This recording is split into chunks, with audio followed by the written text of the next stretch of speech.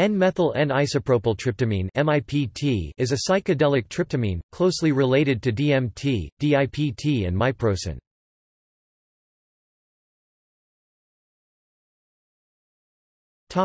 Chemistry. MIPT base, unlike many other tryptamines in their freebase form, does not decompose rapidly in the presence of light or oxygen.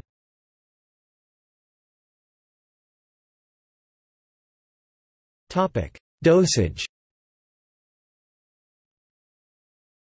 10 to 25 mg is usually taken orally, with effects lasting 4 to 6 hours.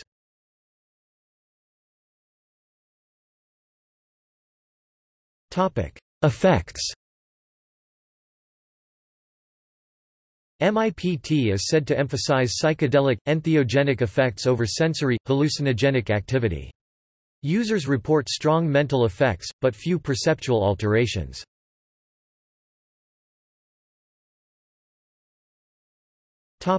Legality MIPT is unscheduled in the United States. It may be considered controlled as an analog of another stimulant, alpha-methyltryptamine, but this has not been tested in court.